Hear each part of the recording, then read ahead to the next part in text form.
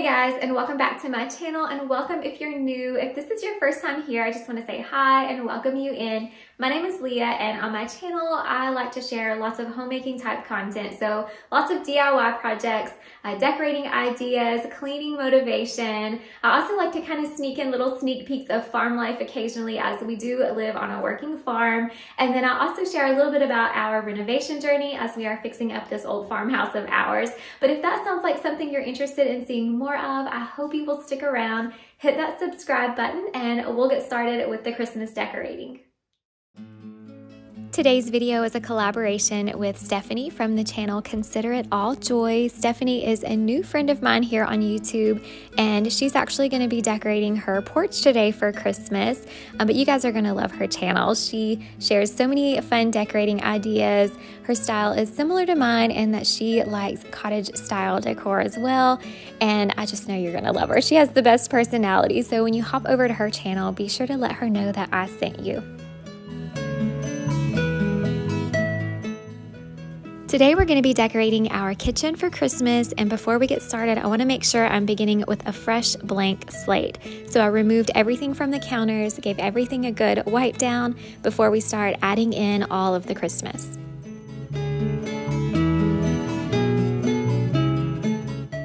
Keeping things nice and simple, but still warm and cozy in this space as well, just like the rest of the house for Christmas this year.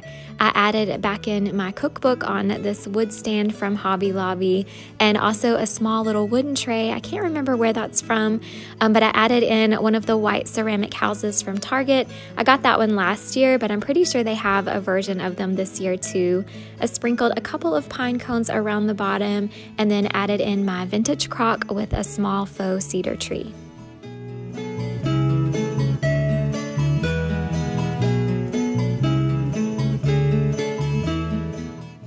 For the area by our coffee pot, I decided to pretty much keep it like it usually is, um, but I did add the small riser and a small crock on top of the riser um, to add another small little cedar tree.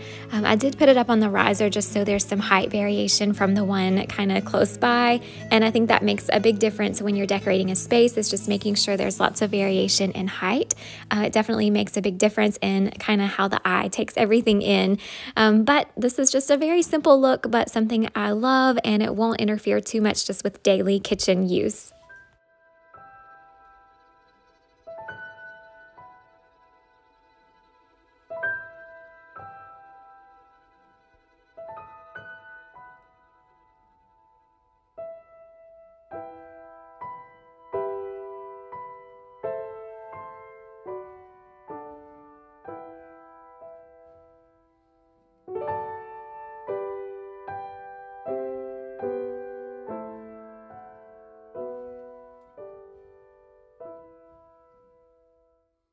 For the shelf above our sink area, I just switched out the print for one that's a little more winter specific. But when I went to print it out, I didn't have enough color cartridge left in my printer, so I had to print it in black and white. I did order one, so hopefully by this coming week when I share a home tour, I'll have a color print here.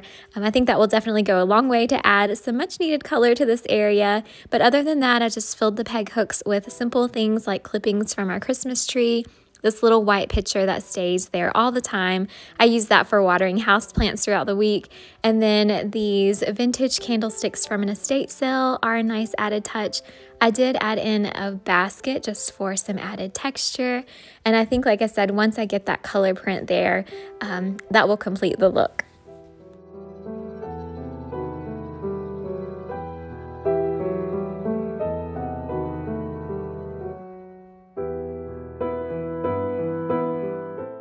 For the area beside the stove, I'm just adding a simple basket, some white salt and pepper shakers, and then my white ceramic cow creamer that I've had for a long time and I bring it out just different times throughout the year. But for Christmas, I decided to add a few Christmas tree clippings to the creamer.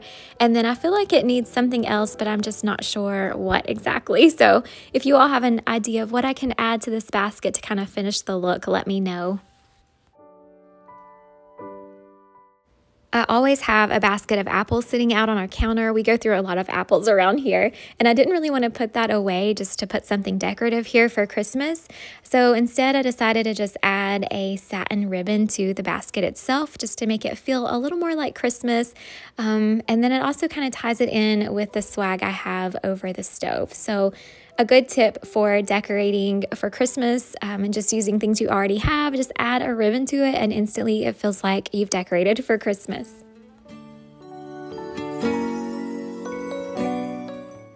Keeping our island top very simple because we do use this space quite a bit.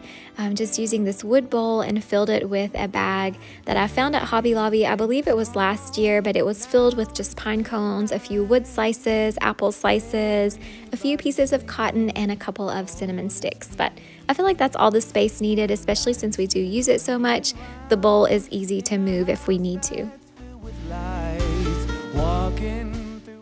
I really enjoy decorating these shelves seasonally, but there are a few staple items that stay on it all the time. So, my diffuser is one of those things, and our calendar is one of those things. The kids love changing that out each day. Sometimes we forget, but it's still fun to have. Um, but to make it feel a little more like Christmas, I added this riser with a couple of Santa mugs filled with a few faux cedar trees. I believe those are from the dollar spot at Target last year. The trees and the mugs were a Walmart find. For the top, I kept our calendar, just added in a cookbook and a basket full of greenery, just clippings from the yard and some of our dried eucalyptus from summer. I still need to finish this side of the kitchen. I need to add some greenery somewhere, maybe a wreath, I'm not sure, but uh, check back next week for the home tour and I should have that area finished by then as well. Had a little bit of the garland left over from our staircase, so I decided to use some of it for a centerpiece for our dining table. And I added in some brass candle holders that I had found recently at an estate sale. You may have seen those if you watched my thrift haul, but I decided to keep it warmer here and not really go with the white candles, but instead opt for different shades of green. So the darker ones are actually from an estate sale, they're vintage, and then the lighter two colors are from the Hearth and Hand line at Target.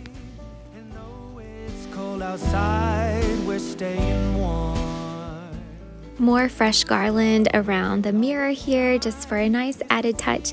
Last year I took down the mirror and had added just a wreath, but I really missed having that reflection that a mirror adds to a space. So I decided to keep it for this year and do a garland instead. And then for our little basket of cloth napkins that pretty much stays out year round, I just added a nice little pine cone on top.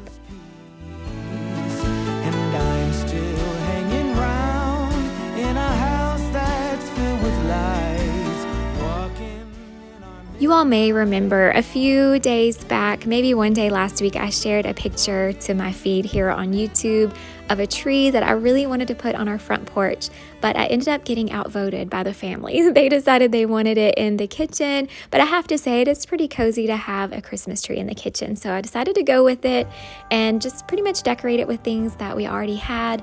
I had a couple of beaded garlands left over that I didn't use for our living room Christmas tree, so I added that and I did add a new set of ornaments from Hobby Lobby just to kind of add a little bit of a gold touch to the tree. But other than that, it's all stuff we already had. Blue and green ornaments that we had used last year. Um, decided to bring those back out for this one. I think it kind of ties in nicely with the rug. I didn't really have a topper for the tree, so I just opted for a couple of white feathers instead.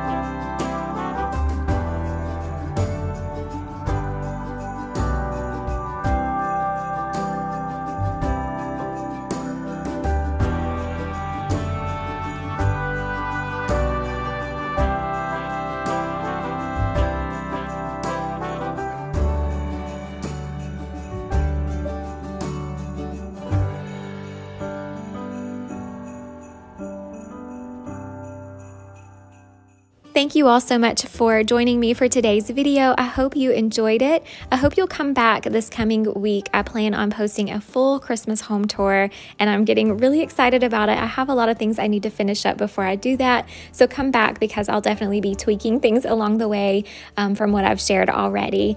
Um, but also be sure you stop by Stephanie's channel and say hi. I know you guys are going to really enjoy her channel. She is so much fun. Um, but I will leave links to her channel and also her porch decorating video in my description box below.